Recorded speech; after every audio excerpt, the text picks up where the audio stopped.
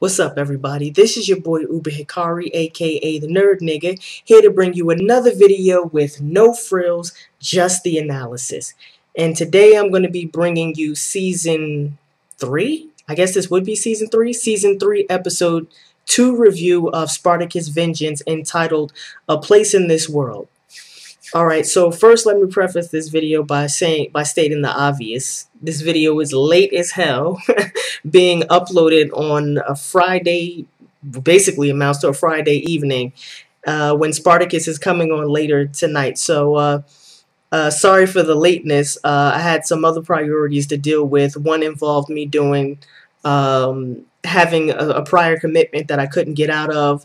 Um, and then once the week started, I had to get back into school mode and you know I'm still getting acclimated to school this semester. I know we're like three weeks in but I'm still getting into the mode where I, I, have to you know be mentally prepared to spend you know anywhere from three to four hours from you know five days a week doing homework. So uh, and also uh, since this is I mean, I do episode TV show episode reviews, but this is also an anime and manga channel. And since that's primarily what I'm known for, I have to give some priority to that as opposed to um, my TV episode review. So, like I said, sorry for the for the the obvious lateness of this episode review. But hey, uh, since today is Friday and Spartacus comes on again tonight, uh, at least you'll be able to see me twice, to see me do two reviews of Spartacus in what's looking like a 24 hour period. Uh, that is if I can download the episode because I don't have a television in my dorm room. So yeah, let's get into this this episode review. All right, so like uh, most of my TV show episode reviews, this will be broken down into two parts. The first is the summary um, that deals with the plot lines, and the second part is the analysis of the episode. Um, and in this episode, there were three um, uh, really overarching plot lines or subplots, if you will. The first involved um, Spartacus and Crixus and um, the sort of, you know, band of warriors that they've put together. And uh, they go to the house of, I forget the guy's name, but they go to, you know, basically his house or villa or what have you. And um, they basically liberate all the slaves there. Um, and they chose this house because of Naevia. Uh, if you remember in the first episode, Crixus uh, had, you know, come by some information uh, suggesting that Naevia was at this house. So they decided to attack this house um, to look for Naevia as well as, you know, free the slaves that were a part of that house. And uh, this plot line deals with the various repercussions of their actions. Uh, excuse me for that. But I know it may seem at first glance like, you know, they're doing, you know, such great things. They're liberating all of these slaves. Um, but there are some some serious repercussions to, to their actions that it seems like they, they weren't prepared for um, before they, they undertook this this little, um, you know, this this rebellion or this revolt. Um, some of the former slaves are, are, you know, somewhat reticent to accept their new status um, which basically means that they still have that slave mentality. And since they don't know what it means to, you know, be in connection with their humanity, or since their humanity has been, you know, disfigured by the experience of being a slave, they're they're very reluctant, very reticent, very, you know, apprehensive to accept their new status as a freed individual. Um, and this is, you know, shown by the fact that a former, you know, slave um, who was, you know, basically being, you know, raped by his master, um, try attempted to assassinate Spartacus. Um, so that comes out very clearly as one of the repercussions of them, you know, uh, freeing these slaves at this this house. Um, and some members of, of the this sort of, you know, group or band or I really don't know what to call them. I guess this political movement would, would be an apt phrase. Um, these guys, you know, don't know how to handle the responsibility of, of being free. Um, they're singing, they're getting drunk, they're harassing the women.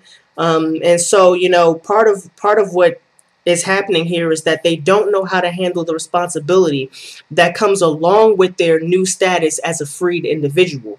And um, Spartacus is trying to build up an army of slaves, but um, it looks like it's, it's going to be you know very difficult because it's hard to transform a slave into a warrior and to put that fire in them that allows them to be courageous in the face of such daunting odds. Um, the second plot line that this episode deals with is Oenomaus and his search for purpose. Um, the title of this episode is A Place in This World, so obviously A Place in This World and purpose, you know, sort of go together. And uh, we get to see his backstory, which is just really sad. I mean, it's it's it's really sad. Um, and he was basically captured, enslaved, and sent to the pits um, and in the Spartacus world, the pits basically equal hell. Um, it's worse than being a gladiator. And th this happened when he was a child, which makes it all the more, you know, just basically tragic. Um, and we get to see how, you know, Batiatus's uh, father, uh, I forget his name. Uh, he probably won't be appearing in the series anyway after this. But basically, Batiatus's father finds Oenomaus in the pits and uh, he takes him and He he purchases him. He brings him back to his ludus to turn him into a gladiator. And um, there's this whole thing about, you know, Oenomaus not having a purpose and trying to find his purpose for fighting to be a gladiator. Um, and basically, the conclusion that he comes to is that he wants to be a gladiator and to fight in order to um, honor the house of Batiatus. Um, and so when the house of Batiatus falls as a result of, you know, uh, Spartacus, Spartacus's, you know, slave insurrection or slave rebellion or revolt, um, Oenomaus is left without a purpose. Uh, he's no longer Doctore.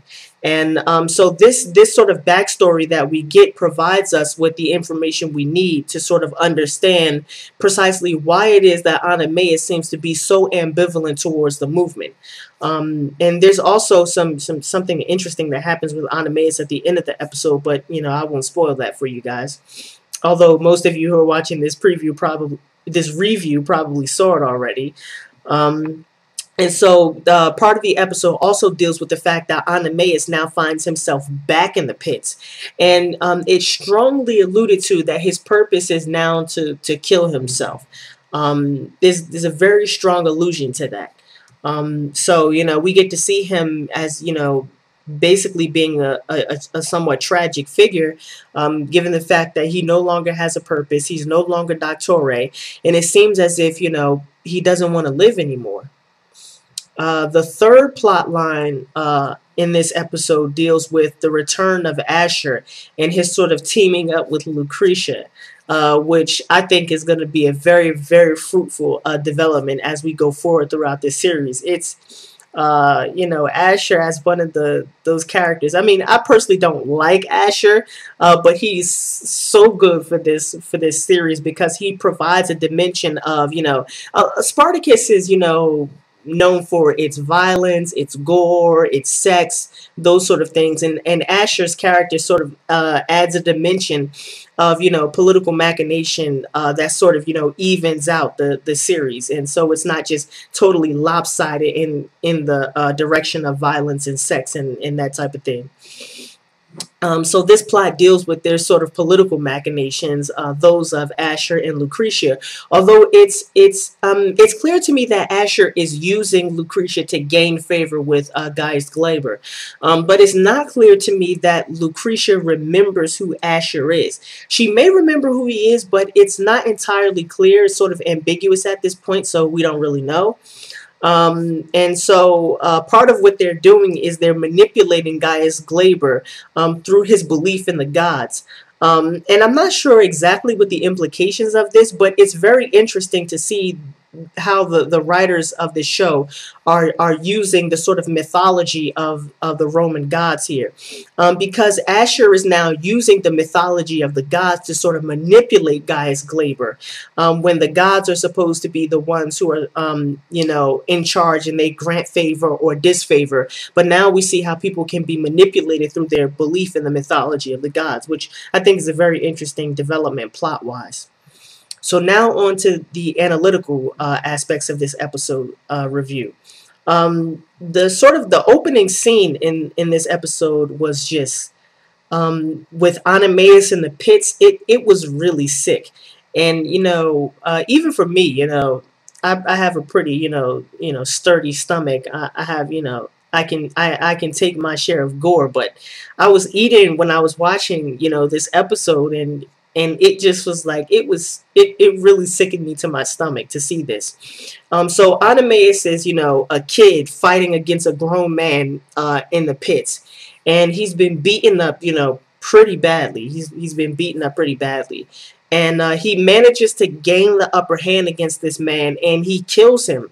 But the way he does it is just um, even by you know Spartacus standards of violence and gore. I mean, he is just stabbing this guy like in the face and in the neck, and and you can see the stab wounds uh, in his face and his neck, and the blood is just gushing up, and it's sort of like covering Oenomaus. And and to imagine like this kind of situation from the perspective of someone who is basically a child is just it's it's it's really it's really disgusting. It's it's it's pretty sick.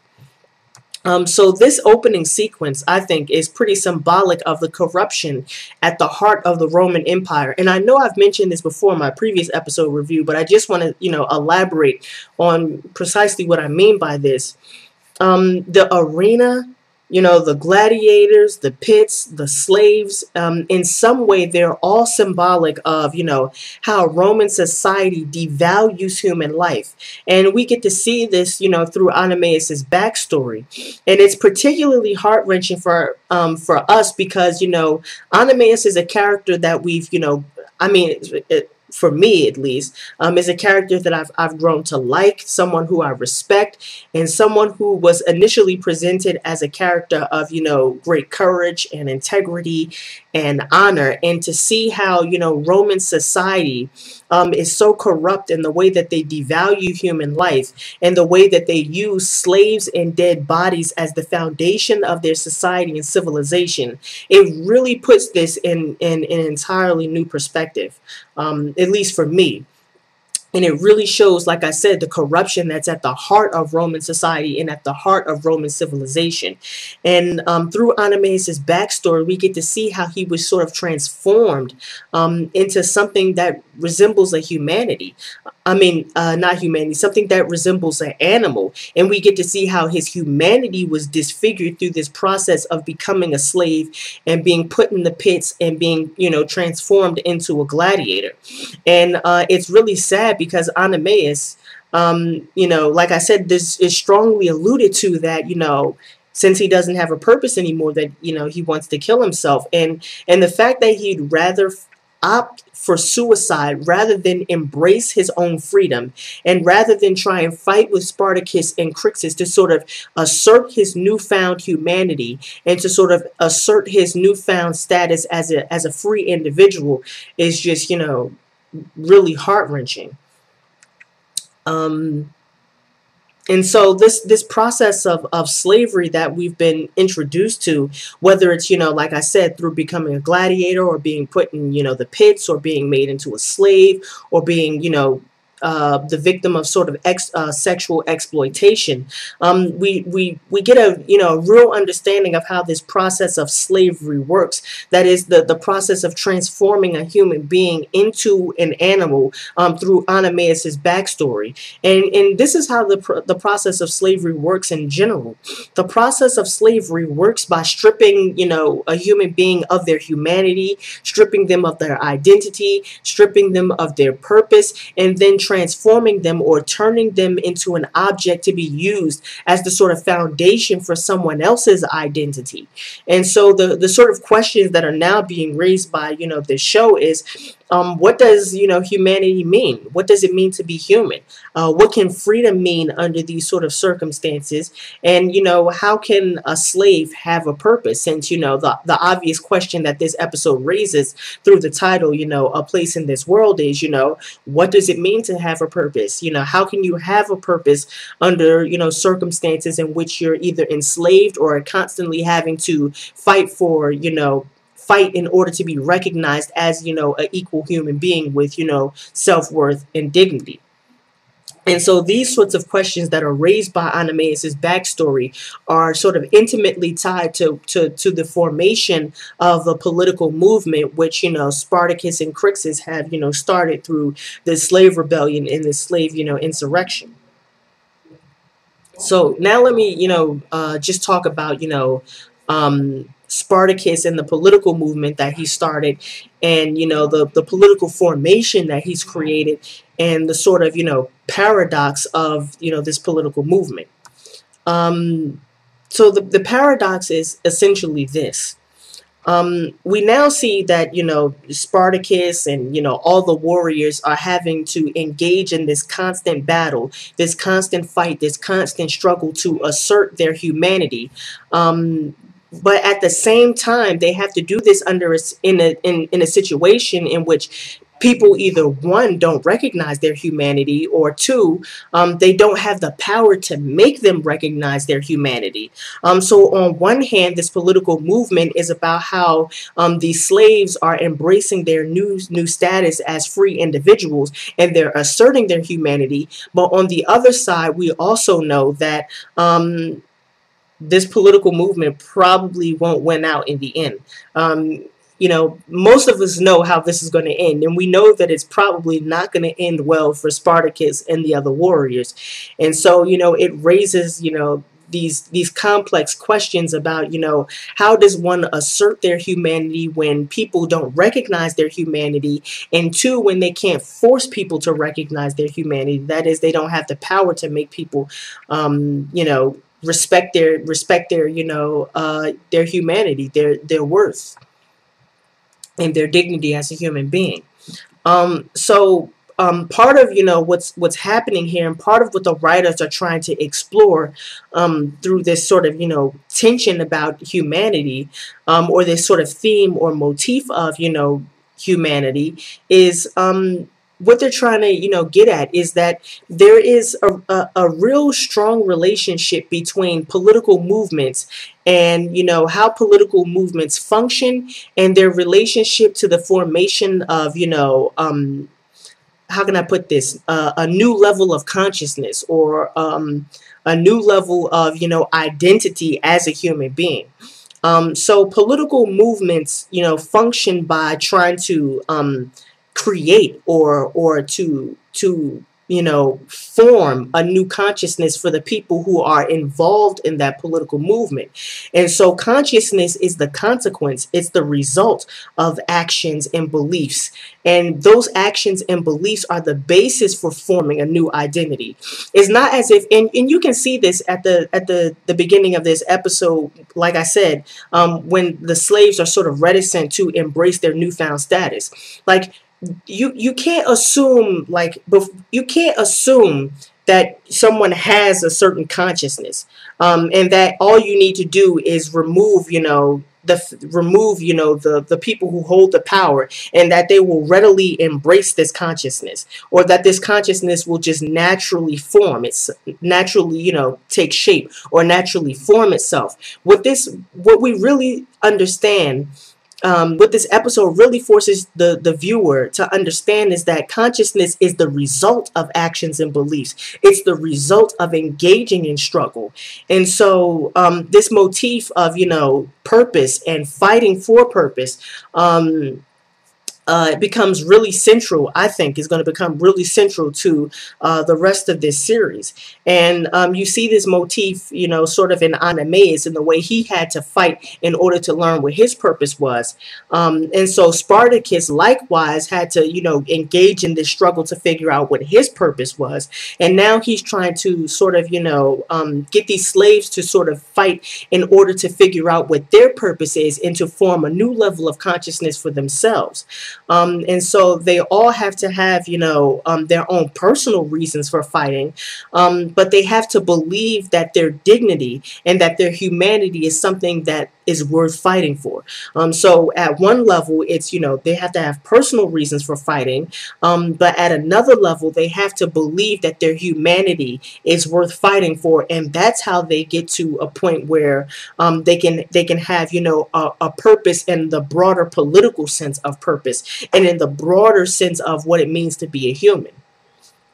And so I think, you know, overall, um, the writing in this episode was just absolutely excellent. Um, and, you know, part of the reason why I think that is also because they're not shying away from the sort of gender dynamics of the situation either. Um, if Because, you know, if the, part of the the argument of this episode or part of what's being explored in this episode is that you know in order to you know find out what your purpose is you have to fight you have to engage in a constant struggle um, and that involves you know you know implicating yourself in certain power relations um, but women don't fight Women don't become warriors. Women are not warriors in this in these circumstances.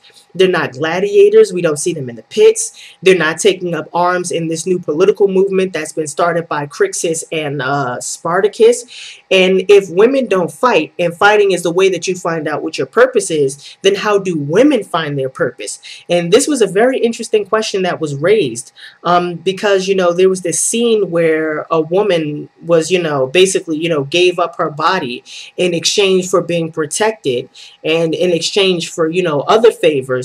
And um, the woman who did this was, you know, confronted by Mira about this.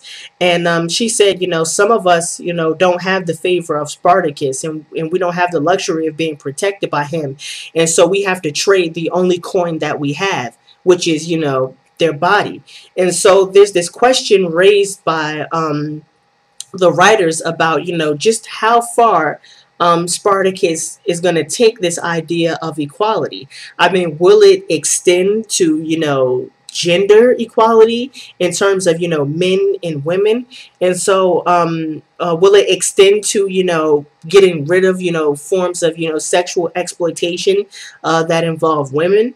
Um, it's you know obviously they want to get get rid of the you know sexual exploitation of men. That's something you know that has to do with you know the construction of one's masculinity. Um, but will that also extend to the sexual exploitation of women? And so you know the writing, like I said, the writing in this episode was just you know very good, excellent. Um, so this this episode is a 10 out of 10, and I find myself being, you know, pleasantly surprised by Spartacus um, because this series has really, really grown on me. Um, when I was watching um, Spartacus, you know, a couple of years back during the first season, Blood and Sand, uh, I sort of, you know, got to the the the final episode of that season, and when Spartacus, you know, at the end he gives that, you know, famous speech. Um, I have done this. I have done this thing, referring to the slave rebellion and killing everybody in the house of Batiatus. He says, "I have done this thing because it is just." And I, I found myself like, oh man, maybe Spartacus is a little bit deeper. Maybe it's about more than, you know, sex and violence and gore and bloodshed and uh, cool battles. And I, you know, now I find myself being, you know, pleasantly surprised by the development of this series and the direction in which the writers have taken this series um, because they're they're raising some some very very good questions about you know the conscious about humanity, about humanity and the relationship to purpose, about political consciousness, about you know you know uh, equality and gender relations um, that I never expected to be raised by this series, and um, so you know this series is is is like I said a pleasant surprise to me. And this episode in particular uh, I found you know very very good uh, so again, sorry for the lateness, and uh, um, the next the next episode review of Spartacus will be on time. That one will probably come out. Um, I I think depending on you know, like I said, I don't have a, te a television in my dorm room, so I have to you know download uh, every episode. So depending on on the availability of this um, this uh, episode, whether or not I can download it, uh, Spartacus will be out uh, as early as you know sometime tomorrow morning. So around three four five six uh, tomorrow morning which is you know saturday morning. Uh, so this was your boy uber hikari aka the nerd nigga. Just brought you another video with no frills just the analysis. Peace and uh, have a blessed day